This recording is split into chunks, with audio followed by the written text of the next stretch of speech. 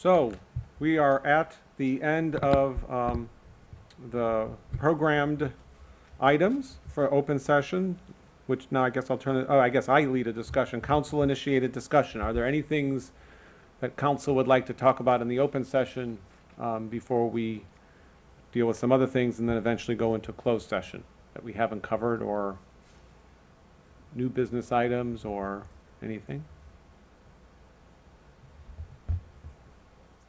This is also the opportunity to uh, suggest to us uh, topics that you would like to have presented in open session in future council meetings. As a reminder, in September, there will be the presentation about the um, intramural research program from Dan Kastner and the Blue Ribbon Panel's report.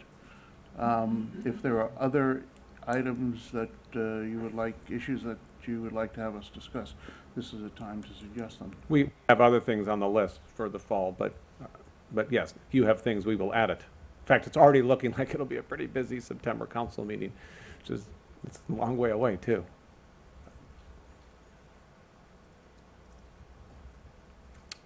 Okay? Okay, Mark? Uh, The next item is announcements and items of interest, and the only one to call to your attention is listed on the open session agenda with a link to the PDF for the uh, quarterly report from the American College of Medical Genetics and Genomics. And that brings us to the end of the open session, uh, unless anybody has any other item they wish to bring up. I do do the conflict of interest now, and um, you'd be surprised, but I have not memorized that. I don't have it. And and uh, no. come, I had to ask Comfort to bring it in, but I haven't gotten it yet. So I looked on the web to see if there was an, and there is a statement that is um, uh, used by the NIAID. So I'm going to read the NIAID statement just as a little variety. Does the same thing.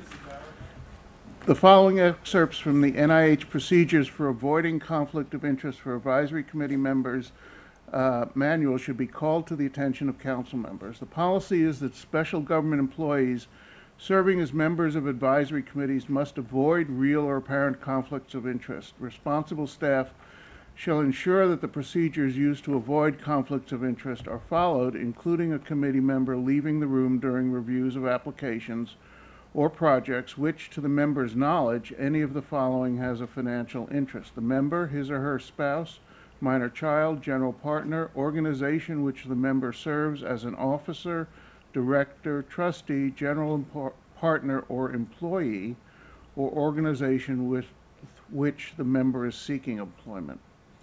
To document that a member does not participate in the discussion or vote on an application in which there is a potential conflict, as described above, a statement to that effect is provided for the minutes, and this statement becomes a part of the meeting file. And uh, we'll ask you uh, at this point to uh, um, sign the statement that you understand that. At council meetings, when applications are reviewed in groups without discussion or identification of institutions, i.e. on block actions, all council members may be present and may participate. The vote of an individual member in such instances does not apply to applications from any institutions in which the member might be in conflict. A member who is employed by one campus of a state multi-campus institution may participate in the review of an application from another campus of the institution if the member does not hold a position with multi-campus responsibilities.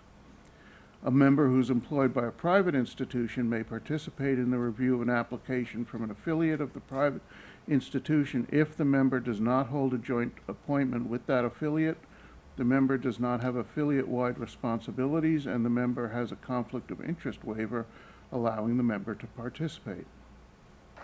Members are reminded that all materials furnished for review purposes and discussions held during the closed session, closed portions of the meetings are considered privileged information.